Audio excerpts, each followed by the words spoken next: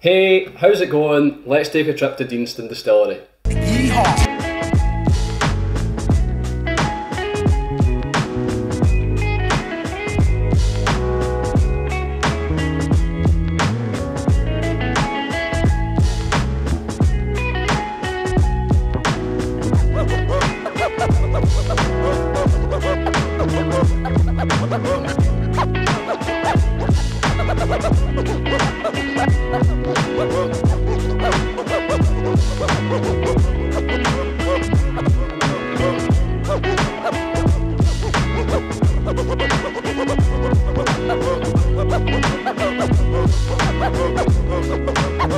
So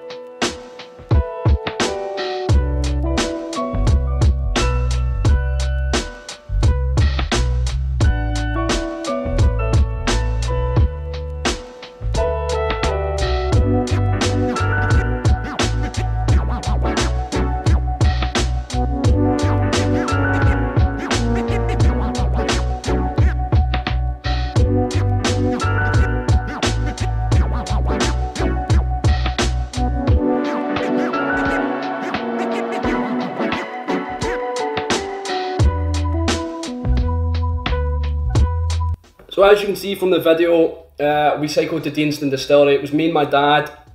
We went on the Friday. I was just off two weeks off nights. Uh, so I don't know why I done it. It was a bit of torture because I was absolutely knackered. But yeah, we cycled to Deanston from the, the house, so from Falkirk, which is roughly about an hour and a half, two hours. It took us a little bit longer because my dad was a little slower. Uh, and he was a little bit nervous on, on the, the country roads with um, kind of cars going past at 60 miles an hour, and they some of them were tending to go quite close. Uh, which is a little bit of a shame. I didn't really like cycling on roads because of that anyway. I don't like holding up traffic, but yeah, it's, it's, it's a shame not to see them giving us space.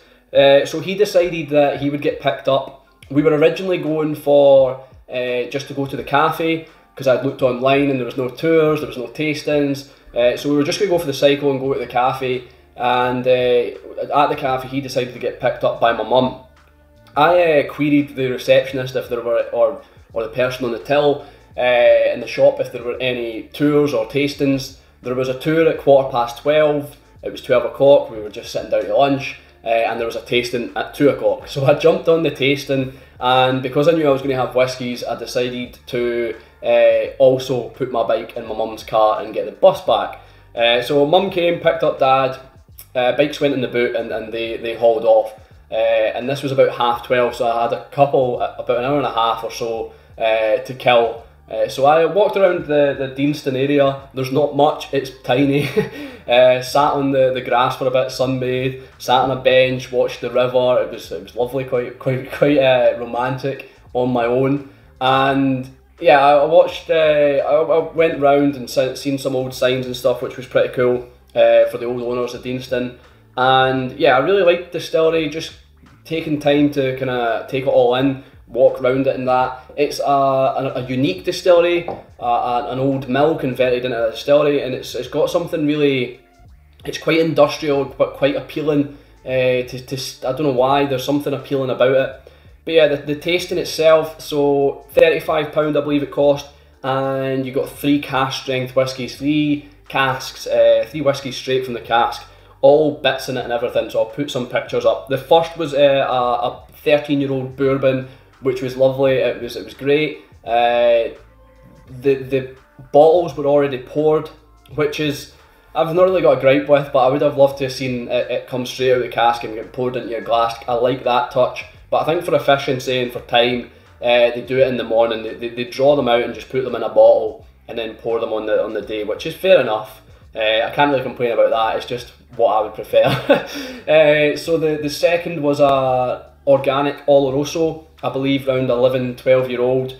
It was okay.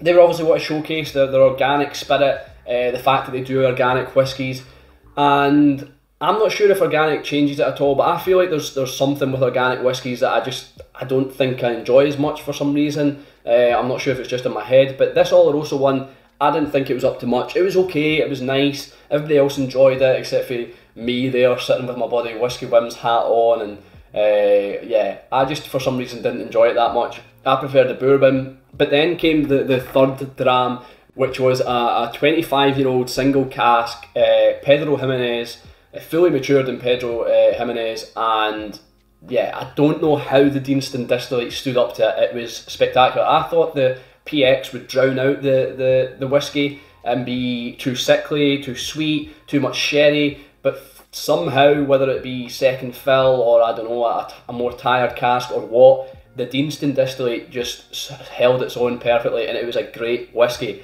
Uh, £155 for a bottle for a 25 year old Deanston, that's incredible. Uh, one of the gentlemen earlier, when we were waiting to do our tasting, a, a gentleman came in from to, to the shop and he was like, "Can I get a bottle of this twenty-five year old?" And I was thinking that's going to be expensive. That's going to be extortionate. But the woman said, "Oh, we've not got any left. It just sold out this morning. Uh, someone else bought three or four bottles." And there's me thinking, this is going to be about four hundred pound, three hundred pound a bottle, and someone's just bought four bottles. And then when I found out it was only 155 pound, 155, I realised why people were like going crazy for it. It's a great value for 25 year old, and it was a great whiskey. Uh, so if I can find that on the auction, I definitely will. But I won't be paying ridiculous price. I think uh, 180 or something would be as high as I go, maybe 200 because it was a really nice whiskey. Like I said, single cask, uh, fully matured in PX. So that was the tasting. It went by a little quicker than I expected. I think we were there for 40 minutes. Uh, it was advertised 45 to an hour. There's nothing wrong with that. The, the guy himself, Brian, that was taking it was uh, fantastic, good humour. I had a bottle of Deanston uh, rum. Deanston 11 year old finished in a rum cask or matured in a rum cask from Cadenheads and asked him if I could pour him a dram. But obviously, because he's working, because of rules and health and safety, he couldn't have a drink, so that was a shame. Um, but yeah, I had that, and yeah, he was he was great. Uh, good laugh, got everybody laughing. It was a lot. it was there was two English um, lads, gentlemen, folk and there was a, a couple and a guy. He was kind of third wheeling. It was a bit weird, I thought, but fair enough, whatever. Um, they were American Australian. I didn't really catch the accent too much. I was still in and out of night shift mode, so I was just kind of sipping away, uh, trying to think what I was tasting. Um, so I was focusing more on the whiskey rather than the others. But that, that was all that was there. So it was quite an intimate intimate experience. Uh, compared to like the Cadenheads one, it's hard to compare them. The Cadenheads is, is completely different. Uh, six or seven whiskies, fifty pound. Uh, you can be there for hours. They just sometimes pour you a little bit more, and they've obviously got a, a an array of different whiskies, not just exclusively one distillery. Uh, so it, it, the Deanston tasting was good in its own right, and I would recommend that it was good. Uh, I would have liked it just to be a little bit longer, like I said, uh, maybe four whiskies or something, even if they put the price up a little bit, because it seemed rather we were in there uh, and you were through the whiskies quite quick. You didn't get enough time to appreciate them. Uh, there wasn't enough. I, I felt kind of conversations around them bet- between the group. Uh, and that might have just been the, the people not wanting to speak to me, and, and that's fine. But uh, I like these experiences as going in, as, as a unit, going in as a, as a team, and kind of discussing what you get. Uh, and that, that, that that's just each to their own though. Um, so then it was the cycle back, uh, the bus back. Sorry, not the cycle back. Uh, so I don't know if you know the geography, but the bus is uh, Doune to, to Stirling train station, then Stirling to Falkirk.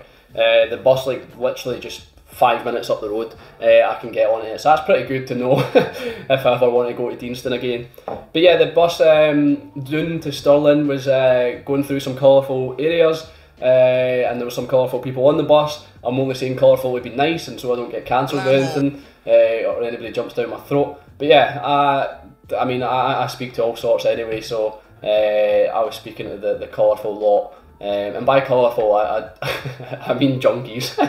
yeah, there was a couple junkies on the bus. Uh, they were alright. They seemed a little bit on edge. I think they were on stuff. they seemed a little. I mean, I was there day drinking, so uh, they were probably looking at me, thinking, "Look at that alcoholic." But yeah, they, they were a little on edge at first, and uh, they sat down, kind of talked a little bit. It weren't too bad. Junkies in Scotland are usually quite friendly, so um, we're kind of lucky in that way. But yeah, that's all I really got to say. I don't know why I'm now still talking about the um, the, the poverty decline of drug use in uh, Scotland. Does that even make sense? Poverty decline or poverty? No, it's more. I don't know what I'm saying. I I'm trying to be uh, political or try to be smart. But yeah, that's uh, that's all I've really got to say.